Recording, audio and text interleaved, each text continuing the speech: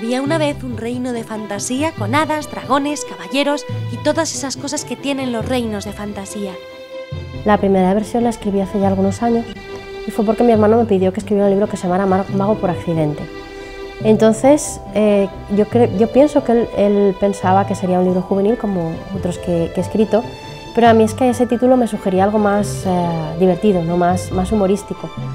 El joven ratón recibe por accidente los poderes del malvado mago Caldiarus. Ambos inician un delirante viaje en el que conocerán una serie de personajes extravagantes y vivirán emocionantes aventuras repletas de humor. Es un libro que, retoma un poco todos los tópicos de, los libros de fantasía y de caballerías eh, para, hacer un, digamos, para pasarlos un poco de, rosca y, buscarles la, la parte cómica, ¿no? un apasionante relato que transcurre en un sugerente mundo de fantasía.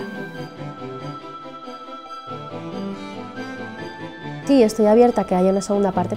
Además tengo trama y todo, y ya sé lo que va a pasar, y sé, a qué personajes voy a rescatar, y, y sí, sí, y qué personajes voy a meter nuevos también.